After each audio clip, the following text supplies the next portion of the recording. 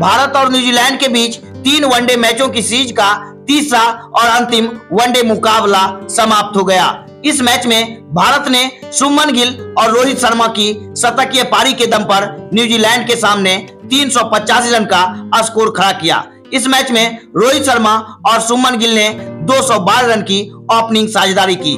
Rohit Sharma 101 run बनाकर pavilion लौट गए। तो सुमन गिल 78 गेंद पर 112 रनों की पारी खेलकर आउट हुए। विराट कोहली ने 36 और हार्दिक पांड्या ने चौवन रनों का महत्वपूर्ण योगदान दिया। भारतीय टीम इस मैच में निर्धारित 50 ओवर में 9 विकेट के नुकसान पर तीन सौ पचासी रन का स्कोर खड़ा किया और न्यूजीलैंड को जीतने के लिए तीन सौ छियासी रन का लक्ष्य दिया। इस लक्ष्य को साधने के लिए जब न्यूजीलैंड की तरफ़ से फिनेलन और डेवेन कॉनवे की जोड़ी मैदान पर उतरी तो पहले ही ओवर में हार्दिक पांड्या ने फिन एलन को बोल्ड कर न्यूजीलैंड को पाला झटका ज़ीरो रन के स्कोर पर दिया।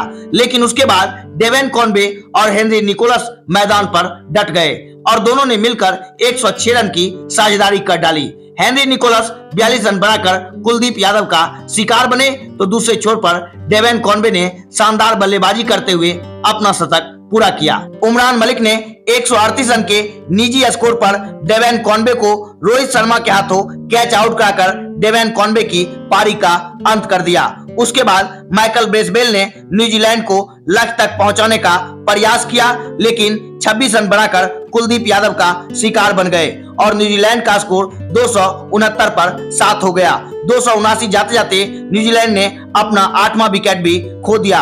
न्यूजीलैंड की पूरी टीम दो रन पर ऑल आउट हो गई और भारत इस मैच को 90 रन से जीतकर इस सीरीज़ को तीन ज़ीरो से जीत लिया है। अब इसके बाद टी सीरीज़ आरंभ होगी।